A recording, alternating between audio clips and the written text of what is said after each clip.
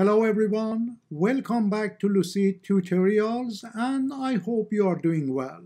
In today's tutorial, I'll show you how to sign out and sign back into iCloud on your Mac, iPad and iPhone. You may ask, why do I have to sign out and sign in again? We sometimes have issues with macOS, iOS or an application. For instance, I had trouble synchronizing the Freeform app between my Mac and iPad. When I typed a word or a sentence on the sticky note in the Freeform app on my iPad, it immediately appeared in the Freeform app on my MacBook. But when I did the same thing on my Mac, it didn't synchronize it to my iPad. Signing out and signing back in to iCloud was the solution for the syncing issue. Before you sign out and sign back in to iCloud, you should have the following at hand. Your Apple ID is the email address you use to purchase products or services from Apple the password for Apple ID, the passcode you use to unlock your iPad or iPhone, and your Mac user account password. This is the password you use to log in to your Mac computer. Let's get started. First, click on the Apple menu and select System Settings. Next, click on your Apple ID in the top left corner of System Settings and scroll down until you see the Sign Out button. Click on it. A dialog box will ask you if you want to keep a copy of your iCloud data on this Mac before signing out. Check all the boxes and click Keep a copy. In the next step, enter your password for your Apple ID and click Continue. It will probably take less than a minute to complete the sign out process. You will see the sign in screen once you have signed out. Enter your email address for your Apple ID and click Next. Then enter your password for your Apple ID and click Next. You must enter a verification code in the following step.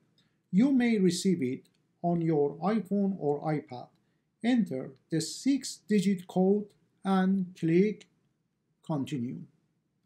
Then you will receive a message on your iPhone or iPad that reads, Your Apple ID and phone number are being used for iMessage and FaceTime on a new Mac. Click OK. The following dialog box informs you that Apple ID's sign in requested. Click Allow. If you receive a six-digit code again, enter it on your Mac screen. Now you need to enter your password for your user account.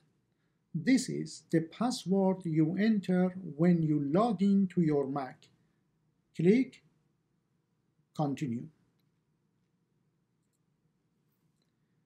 After a short time, you will be asked, do you want to merge contacts, calendars, Safari, and Freeform with iCloud?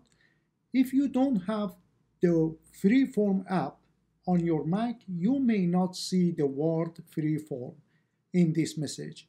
Click Merge.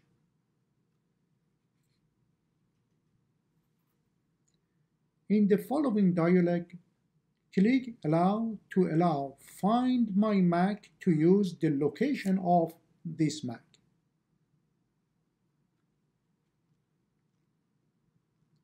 Finally, you will return to the System Settings screen with your name and email under your login picture or emoji. You will see your email address or Apple ID here. In case you want to change your user's login picture or emoji, move your mouse over the image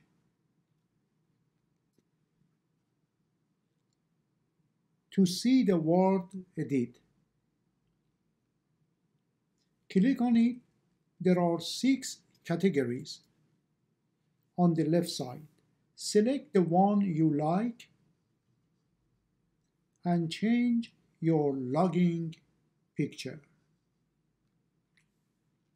Now let's learn how to sign out of iCloud and sign in again on your iPad or iPhone. In this tutorial, I will use an iPad. Both the iPad and the iPhone have similar settings. Turn on your iPad and tap on System Settings. Tap on your Apple ID on the left sidebar and tap Sign Out.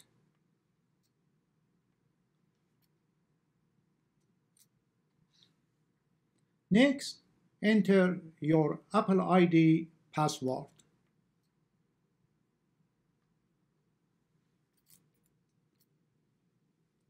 In the next step, you will see a dialog box asking if you want to keep a copy of your data on this iPad. Turn on all the toggles and tap Sign Out.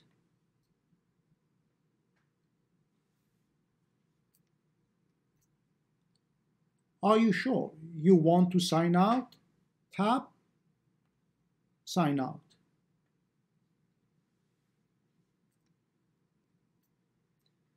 The sign out process takes a little time. Once the sign out process is complete, you will be redirected to sign in to your iPad or iPhone screen. Tap on your name in the top left corner. The Apple ID sign-in message will be displayed. Tap Next.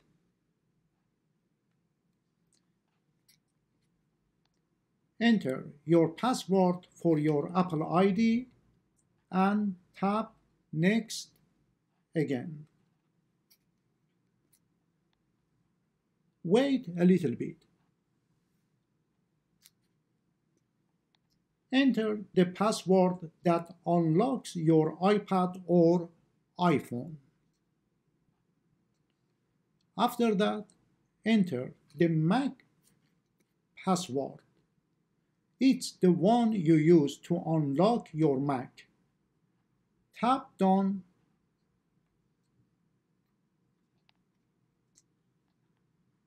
and tap on Merge with iCloud.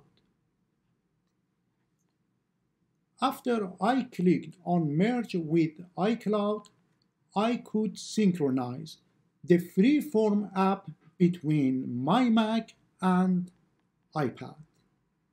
I hope that this tutorial was helpful. If you learned something new from it, give it a thumbs up. Please subscribe to receive notifications of upcoming tutorials. Your support will encourage me to make more videos for you. Thank you for watching.